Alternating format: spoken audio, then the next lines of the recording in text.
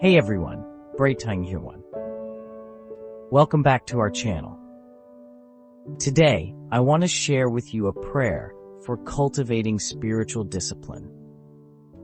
Let's turn our hearts to God as we reflect on 1 Timothy 4 7. But refuse profane and old wives' fables, and exercise thyself rather unto godliness.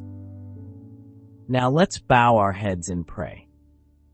Lord, I desire to grow in godliness and know it requires discipline. Help me to cultivate spiritual disciplines such as prayer, fasting, studying your word, and fellowship with other believers.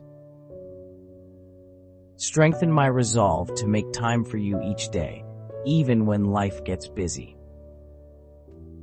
Teach me to prioritize my relationship with you above all else, and let the fruits of these disciplines be evident in my life. Guide me as I seek to grow deeper in my faith, and help me to stay committed to the path of godliness. In Jesus' name, amen. Remember, growing in godliness is a journey that requires consistency and dedication. By prioritizing spiritual disciplines, you're taking steps towards a deeper relationship with God. If you found this prayer helpful, please give this video a thumbs up.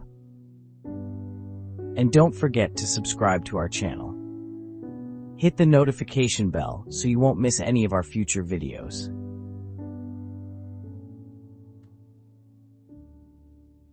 And if you have any prayer requests or thoughts, share them in the comments below. Thanks for watching, and may God bless you on your journey to spiritual growth. Break time point five.